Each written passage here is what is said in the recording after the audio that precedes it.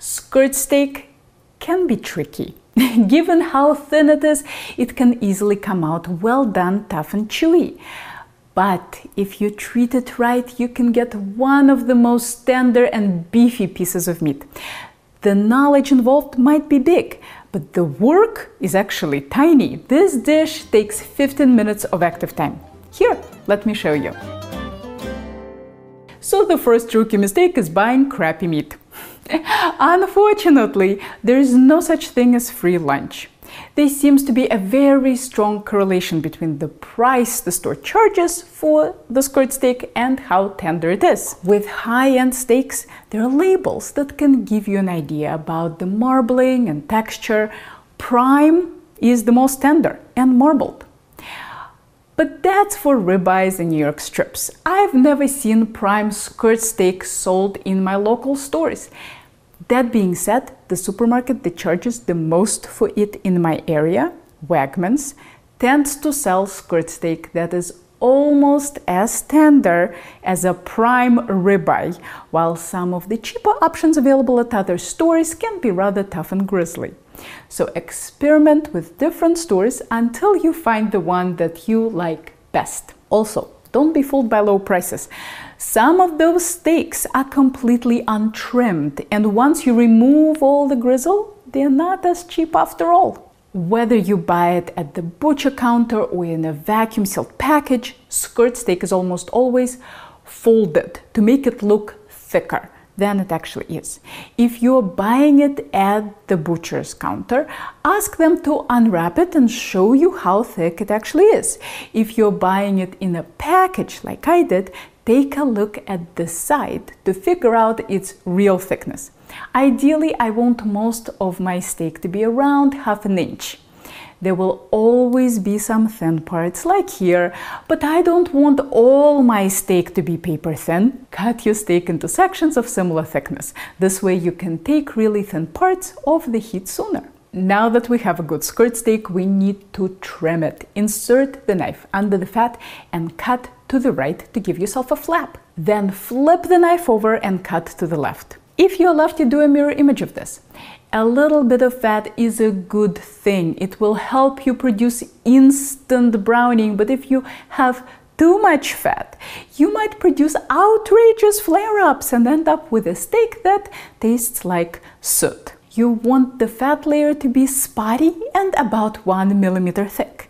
If you encounter any silver skin, trim it completely. I have no silver skin on my steak today, so I'll borrow footage from my rack of lamb video to show you what it looks like. It's a very tough membrane. There is no way to rip it with your hands.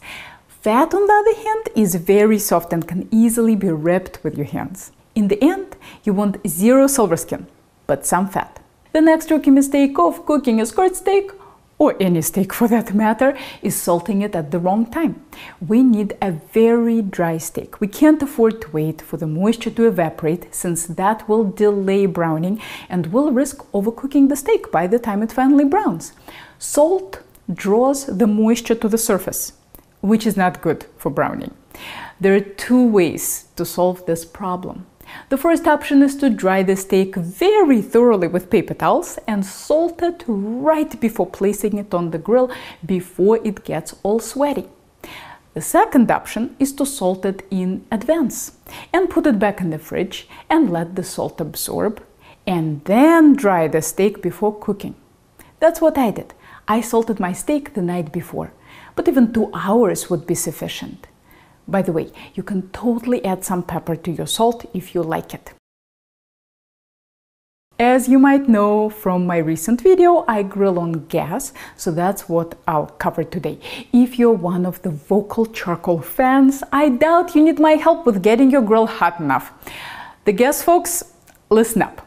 You need your grill to be extremely clean and extremely hot. I got my grill all messy so that I could show you how to clean the grate. Cover the area where you plan to grill with a double layer of foil. Don't wrap it tightly around the grill. In fact, it helps to mold the foil slightly so that it hovers right above the grill grates. Under no circumstances should you wrap the entire grill grate. For safety reasons, you need good air circulation. The first time you do this, keep a very close watch on your grill. Some people never disassemble and clean their grills inside, which means that they have a whole pool of grease sitting under their grates. You don't want the grease to ignite. Some grills react very well to this technique and some don't. Cook's Illustrated published it years ago and it has served me and many other people extremely well. But I've also heard of this technique backfiring, no pun intended. Now preheat your grill for 20 minutes and pay absolutely no attention to that useless thermometer on the lid. It knows what's happening on the lid, not what's happening on the grate. After 20 minutes, everything on the grate will turn to ash and your grate will be really hot. Remove the foil, Quickly but thoroughly clean the grate with a brush. Replace the foil for a couple of minutes and you're ready to grill. The next mistake is grilling your steak naked. Some steaks simply need salt and pepper. Skirt steak is not one of those. It needs to be dressed up a bit. That's why we need the glaze. Yes, that very one you've seen in gazillion of my videos.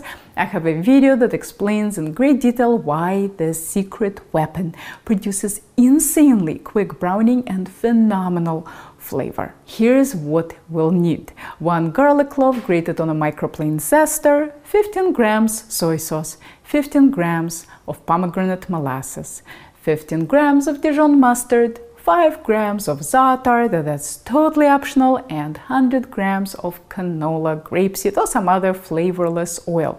But I found that lately I've been using less oil than I originally called for, so if you want to stop at 70 grams of oil, you'll get a more intense glaze. I never measure anything for this unless I'm testing a recipe for you. This is not like baking, so feel free to eyeball everything. Shake really well before using to make sure the mixture is homogeneous. For all the questions about this glaze, ingredient substitution, storage, doing it in a bowl instead of a squeeze bottle, watch the video linked below. This is a surface treatment. There is no need to soak your meat in it. Right before grilling, dry your steak really well with paper towels and drizzle it with a little glaze. Then rub it in to create an even thin layer. No, you won't need all the glaze, so save the rest of it in the fridge for all your future grilling projects. It works on all meats, fish, poultry, and veggies. Now we need to move quickly so that we don't lose the heat. Remove the foil and brush the grill with an oiled paper towel. Place the steak on the grill starting with the thickest piece and ending with the thinnest. Cover the grill. Set a timer for a minute and a half. That's the longest that we can stay on the first side. Take a peek at 30 seconds to see if you get color. I did. So I'll flip my tiny piece and rotate my big piece to get more grill marks. After 30 more seconds, I got crisscross grill marks, so I'm going to flip. If your steak is not brown yet, give it the full minute and a half. Now we'll do the same thing on the other side, but this little guy needs to come out. 30 seconds, rotate, 30 seconds, and the second side is brown. Now I'm going to give my steak another 30 seconds on the first and another 30 seconds on the second side. To make a long story short, We've only been grilling for three minutes and we did a lot of flipping. I'm sure you want to know why, right? the more we flip, the more evenly our steak will cook. This helps us avoid a gray overcooked outside. Remove your steaks to a warm plate and let them rest for 3 to 4 minutes before cutting. I'll top them with some cilantro lime butter, but that's totally optional. Don't worry, once we finish talking about the steak, I'll show you how to make the butter. Testing a thin steak for doneness is a hopeless undertaking. It's almost impossible to insert a thermometer into such a thin steak to get an accurate reading.